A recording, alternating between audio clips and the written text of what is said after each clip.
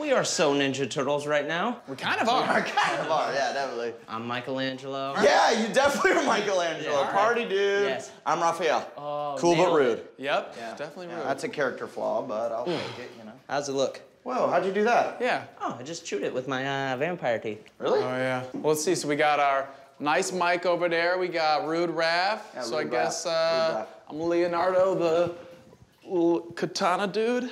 No, definitely no, not. you're not Leonardo. Don't compliment yourself so much. Nice try though. You're definitely Donatello. Oh, he's so oh, Donatello. You're so Donatello. What? Donatello was like a nerd, and like he he's like a party pooper. Yeah.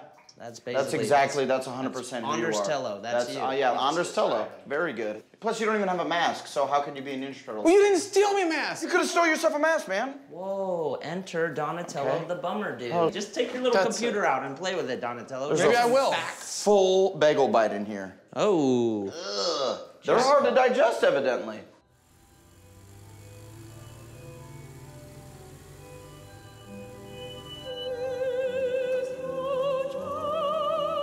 Can't be Leonardo.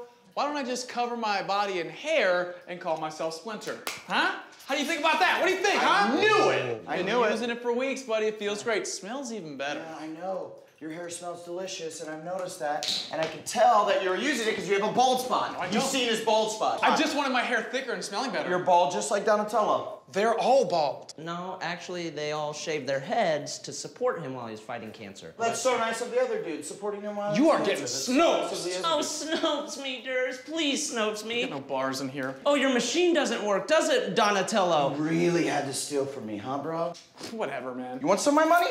Is that what you want? You want some of my money? There's a dollar. Here's some rocks. There's a nickel. And a limited edition Lap Hog XL condom. Adam, you burgled me, dude? I'm sorry, Blake. You don't need it. I need it. God bless slash curse me with a thigh slapper, and I need an XL condom to package the whole thing. Oh, sh- yeah, right. Come on, man. I've seen it. It's not that big. I walk in yeah. on him jerking off all the time. It is that big. Deal with it. I've got an Ed Helms. Newsflash, everybody. Friends do not steal from other friends. That's like a basic rule. I didn't want to have to do this, Blake.